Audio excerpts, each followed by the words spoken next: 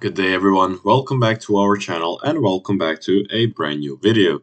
Today guys, I will be talking to you guys about uh, the Phantom Wallet application not working or uh, could not open the Phantom uh, Wallet application error and how to fix it. So let's get right into it.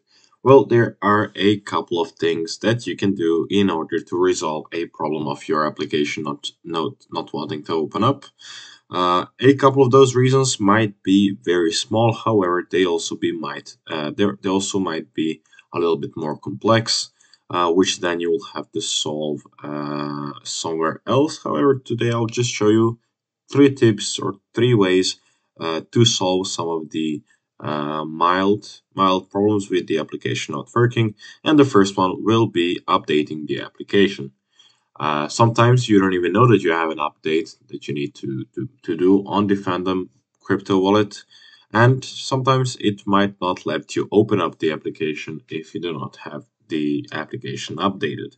To see the update you will go into your App Store or Google Play Store. Instead of open, uh, right here it, it would say update You'll click on update and it will automatically start updating and installing all of the new features.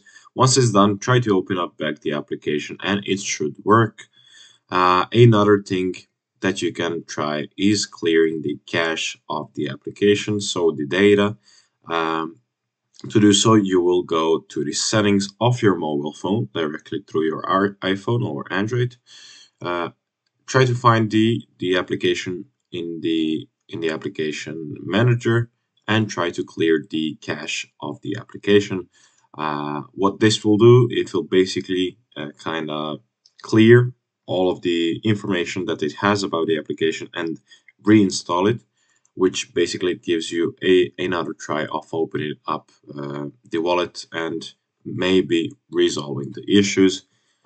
Also, you can try the, the, the casual one, the um, the usual one, which is rebooting your system or just restarting your phone. Uh, however, it sounds uh, it sounds very basic. Sometimes it might uh, resolve your problems with any application in general. So that would be everything for today. Uh, hopefully you guys enjoyed this video and found it helpful. If you did, leave a like, subscribe, turn on post notifications, and I will see you guys in the next one.